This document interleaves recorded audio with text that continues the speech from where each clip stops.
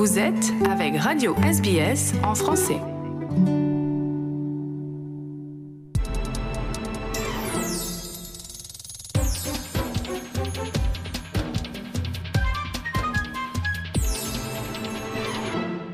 Le Zap France, les pastilles sonores de l'actu française des derniers jours, une compilation aujourd'hui des vœux de Nouvel An, ceux d'Emmanuel Macron, le président de la République, entrecoupés de celles et ceux qui aimeraient prendre sa place à l'Élysée, les candidats à la présidentielle d'avril prochain.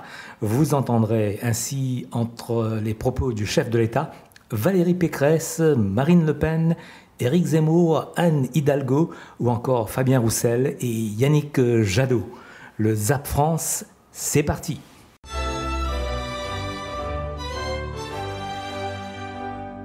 Françaises, Français, mes chers compatriotes de métropole, d'outre-mer et de l'étranger. Mes chers compatriotes de métropole, d'outre-mer et de l'étranger. Mes chers compatriotes. Françaises, Français, mes chers compatriotes de métropole et des outre-mer.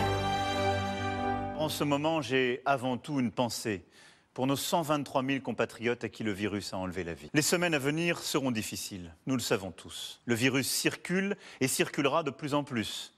Des mesures ont été prises par le gouvernement pour y faire face et je vous demande à tous et toutes d'y veiller. 2021 se retire sur la pointe des pieds. Une année qui fut pour beaucoup une année improbable, en pointillé, et parfois une année faite de difficultés, de peines. Et pour ceux qui ont connu la maladie ou ont perdu un être cher, de souffrance.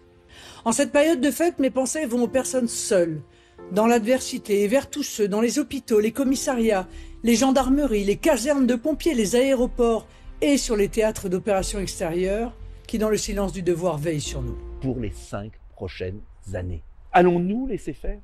Allons-nous subir? Lorsque tous les sondages, toutes les enquêtes laissent penser que tout est joué d'avance. Certains peuvent perdre espoir et se réfugier dans une forme d'exil intérieur. Je ne me résous pas non plus à cette fuite vers les extrêmes. Et puis, je me dresse. Je me dresse face à l'immobilisme du pouvoir en place. Une autre politique existe. Avec vous, je veux construire une nouvelle ère d'espoir et de liberté qui succédera aux années Covid une nouvelle ère de réformes et de progrès concrets. Une nouvelle ère où chacun d'entre vous est considéré, motivé et non plus étouffé sous la bureaucratie et la verticalité d'un pouvoir solitaire. On dira de nous, il sortait d'un quinquennat cauchemardesque, fait d'un néant présidentiel sans forme ni fond, de déclassement économique, de pandémie incontrôlée, d'insécurité envahissante, d'immigration délirante et d'islamisation galopante. Cinq ans d'affaiblissement de leur identité et, à la surprise générale, ils ont vaincu la fatalité.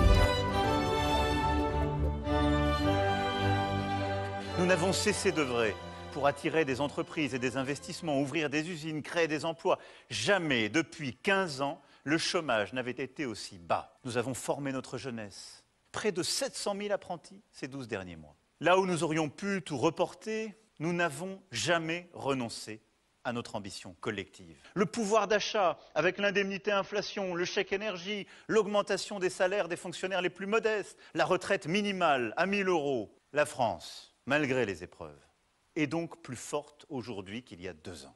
Voulons-nous d'une France fermée, défigurée, vindicative, déchirée, celle que nous promettent les deux candidatures de l'extrême droite, qui tournent le dos à nos valeurs les plus précieuses, la liberté, l'égalité, la fraternité, la tolérance, la solidarité, il existe une alternative républicaine, sociale, écologique et de progrès.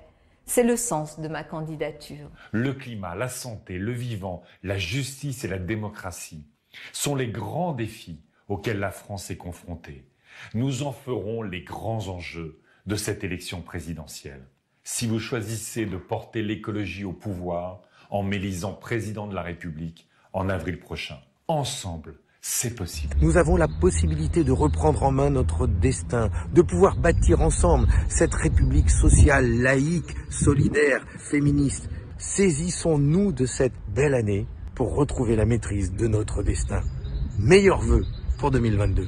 L'année 2022, je souhaite qu'elle réponde à toutes vos espérances et qu'elle puisse nous permettre de reprendre la vie ensemble, sans barrière. Que 2022 vous apporte à chacun, comme à vos proches, bonheur et joie, santé et projets.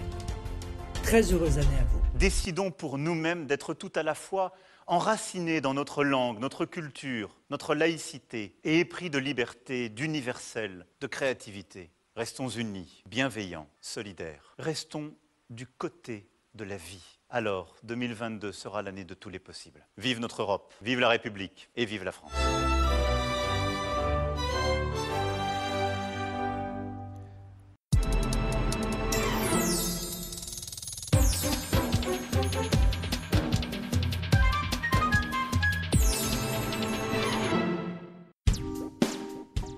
Les programmes de SBS sont disponibles en podcast et vous pouvez les écouter quand vous voulez. Pour s'inscrire ou télécharger, www.sbs.com.au/french.